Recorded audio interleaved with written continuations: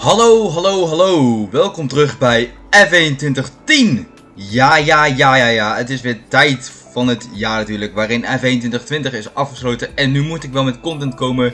Dus we gaan lekker verder met 2010, de career mode in Monte Carlo in Monaco. Dat is een heel ander circuit dan dat jullie gewend zijn, want de bochten zijn wat anders in de game van 2010 dan 2020. F1 2021 komt ook ja, binnenkort uit. Dus daar verwacht ik ook veel career mode content. Maar nu gewoon lekker de kwalificatie doen. We zijn ook aanbeland bij de kwalificatie zelfs.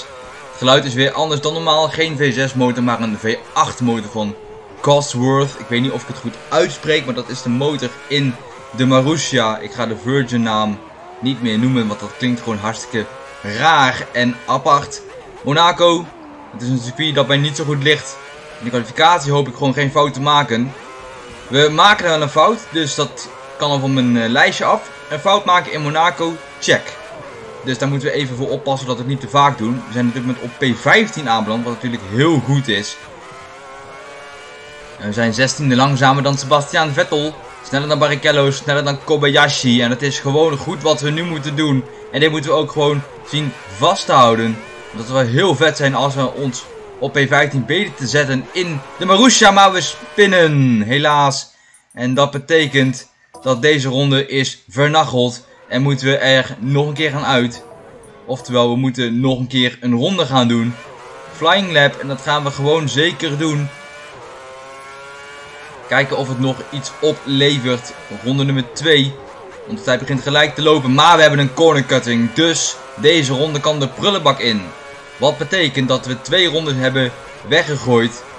En we gaan gewoon dit rondje even afmaken. Kijken waar we dan staan zonder die tijdstraf. Dat onze tijd niet wordt afgepakt. Dus stel dat we dat niet deden, waar stonden we dan? We waren in ieder geval drie tiende langzamer dan onze persoonlijke tijd. En dat is weer een spin voor ons. De vlag hangt ook uit, zie ik. De kwalificatie zit er ook alweer op. En dat betekent dat we zometeen onze laatste run ingaan. En kijken of wij misschien van P15 misschien Barrichello kunnen pakken. Het zou wel vet zijn als dat gebeurt. We hebben bijna weer een spin. De game kan onverraderlijk zijn. Want de auto ben je hier gewoon veel makkelijker kwijt. We hebben ook een lichtere achterkant dan in F1 2020. Hier hebben we ook minder downforce. Zijn de auto's wat hoger dan normaal. Moeten we ons daar een beetje inhouden met de snelheid. Anders schoten wij daardoor. Wat ik net al zei, ja, geen halo, brullende V8'en, andere compounden. Want we hebben in dit spel gewoon soft en hard, denk ik. Sorry, option en prime is het hier. Niet soft en hard. Andere circuits. Korea zit, zit hier nog bij. De endurance layout van Bahrein zit hier nog in. Allemaal leuke banen. Istanbul is het ook op de kalender. En nu gaan we hopelijk onze laatste run in. Geen fout maken. En dat is gewoon goed gegaan in de eerste bocht. Geen penalty. En dat is mooi. En P15, daar tik ik gewoon voor. Dat moet gewoon voldoende zijn. Ik vind dat knap in een Marussia. Want ja, wij staan vierde in het klassement. Omdat de vorige aflevering, dat was in, als ik dat goed zeg uit mijn hoofd, China. Dat verliep toen minder goed. Nee, dat was, dat was wel China. Of was dat nou, uh, waar is het nou? In uh, Maleisië. Volgens mij verliep het daar minder goed.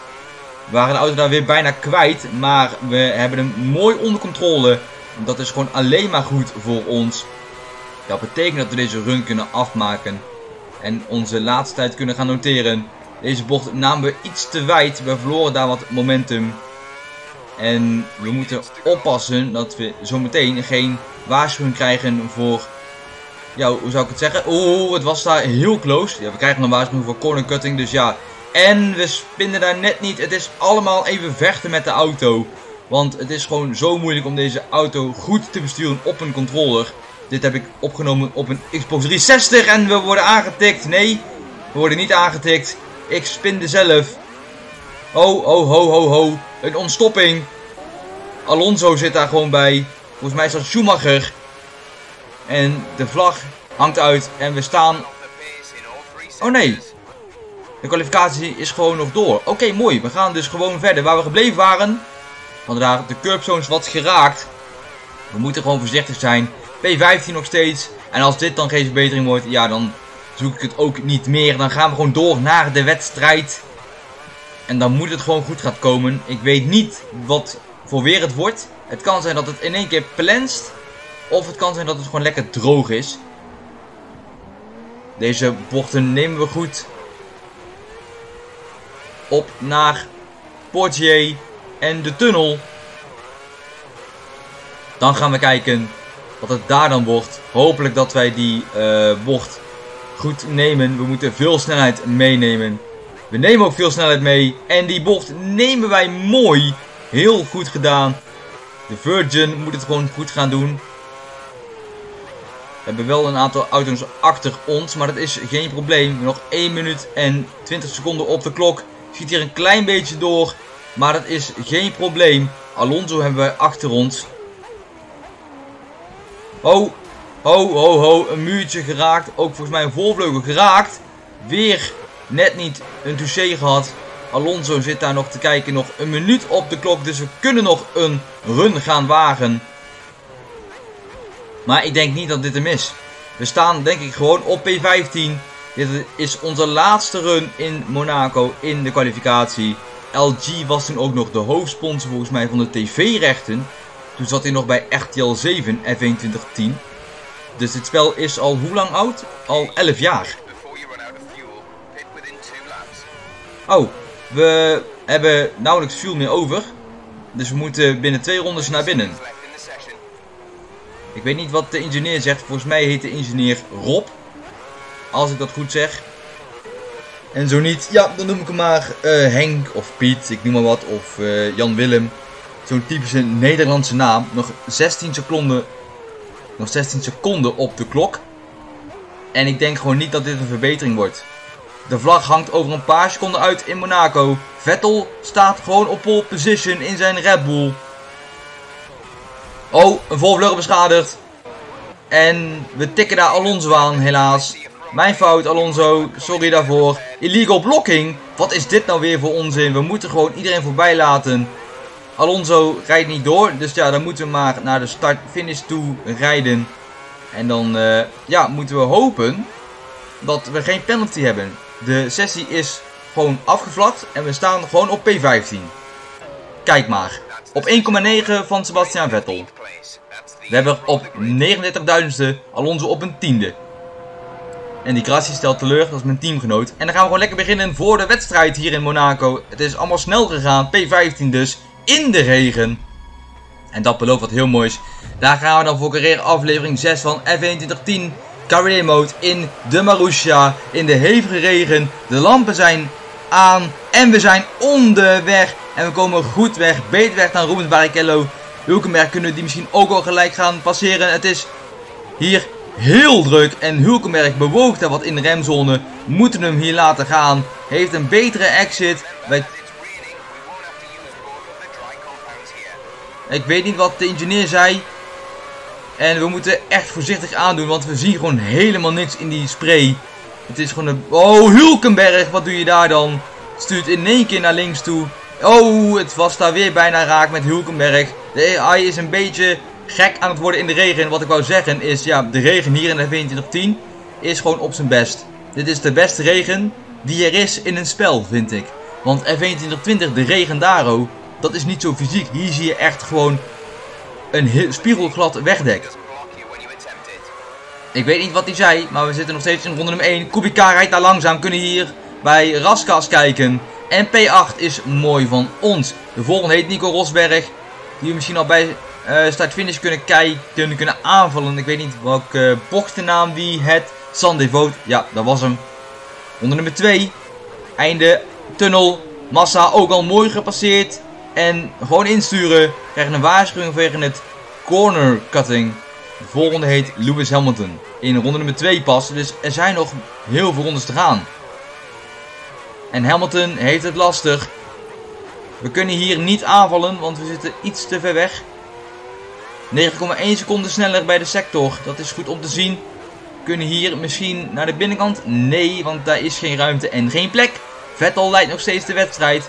Oh, een beetje wielbengen met Lewis. En dat gaat maar net goed. Lewis Hamilton spint. Lewis Hamilton spint en Massa rijdt er vol tegenaan. Wat was daar gebeurd? Een heel apart voorval. Hamilton gespind, massa erop geknald. Wij waren die auto bijna kwijtgeraakt. Maar hadden mooi de redding in handen. Dat is goed om te zien. Dat is mooi om te zien. En dan gaan we gewoon lekker door met onze ronde. Met onze race in de ronde nummer 3 pas. We zitten in de ronde nummer 4 van de wedstrijd. Als we daar bijna de auto kwijt zijn. Maar we redden hem heel mooi. Dan moeten we hier alles rustig aandoen. Maar dat doen we niet. We zijn hem weer kwijt. Vangrail geraakt. En dat is weg P5. Weg P6. Kubica raken we. Soetel moet, is daar op aan het uh, vertragen. Schumacher zit ernaast. We remmen weer laat naar Schumacher toe en pakken die positie weer terug. Maar Soetel en Kubica hebben van mij geprofiteerd. En dit belooft een, ja, een uh, moeizame wedstrijd te gaan doen. Ik kan je nu alvast verklappen. Ik ga de wedstrijd niet uitrijden. Ik ga dit niet doen. Waarom? Ik speelde dit gisteravond. En toen dacht ik even nog snel een video maken. En toen dacht ik, ja weet je wat jongens, ik ga dit niet volhouden. Dus um, ik stop ermee. Oftewel, we gaan deze race niet afmaken. Terwijl we daar mooi wel bij Soetel aan de binnenkant kijken. Maar het is allemaal ja, voor de show. Want we gaan dus geen punten pakken. We zitten in ronde nummer 5 van de wedstrijd. Oh, oh, ho, ho, ho, ho. Ja, dat was einde wedstrijd.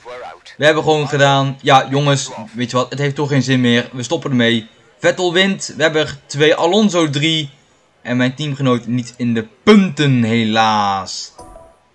Dat betekent, we hebben 7 punten achterstand naar Mark Webber. Dat kunnen we gewoon nog goed maken in de resterende rondes. En we staan dus P4 op 85 punten. En ik denk dat wij geen constructeurskampioen worden. Maar de coureurstitel kan er misschien nog komen. Dus, ja, wees vooral benieuwd. Ben jij trouwens nieuw op mijn kanaal? Abonneer dan voor meer weeklessen. Hoop ik. F2110 Career Mode en F2121 My Team Career Mode en Breaking Point. Schakel ook gelijk een belletje aan als je geen enkele aflevering meer van mij mist. Kan er iets beter worden? Ja, dan in de comments zetten. Uh, vond jij het niet leuk? Vertel me ook waarom je het niet leuk vond. Ongepaste reacties worden verwijderd uit de comments sectie. Dus ja, dit was deze, dus deze aflevering. Het begint al goed mensen. Ik ga heel veel fout dingen doen, net als nu. Ja, dit was het journaal mensen. Tot de volgende keer bij F2110 My Team Career. Want dan gaan we volgens mij verder in Istanbul. Volg me trouwens even op sociale media. Mijn gebruik staat in de beschrijving. Tot de volgende keer.